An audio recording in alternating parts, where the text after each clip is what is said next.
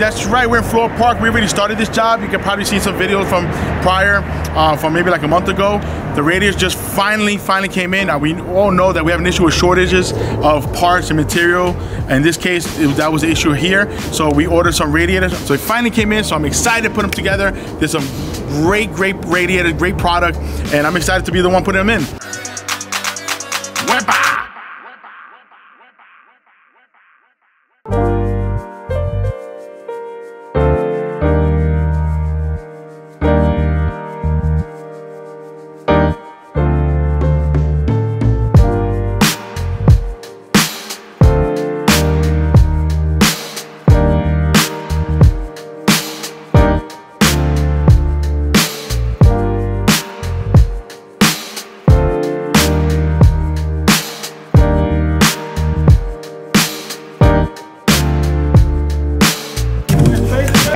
I'm gonna turn it. I'm gonna turn it. I turned the valve half a turn already. I got it.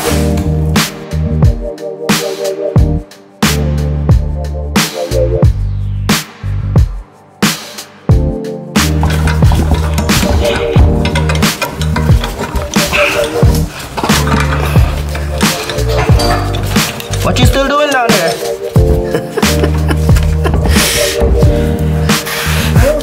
what you still doing down there?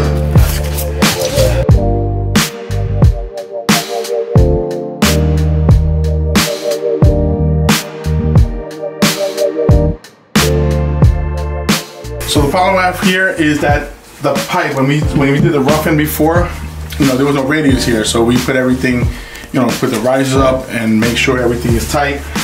But sometimes these houses are old and not everything is 100% straight or level. So it's off, it's cocked at maybe like a quarter of an inch, an eighth of an inch, it's not much.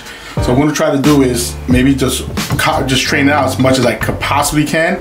There's nothing to hold back on the bottom of the floor. So what I'm gonna do is take a, um, a crowbar, I'm gonna stick it in, wedge it, and I'll strain it out. Mm. It looks a lot better. I already see it. Mm-hmm. Yep. It's called 20 years plus experience. That's all it is. It's not magic. The magic is me, but the real magic is them. But we combine two forces, that's when the real magic happens. So listen, it's a team effort. That's it. I can't do it by myself. I don't got the big guns like these guys. The guys are, you know, they're younger than me.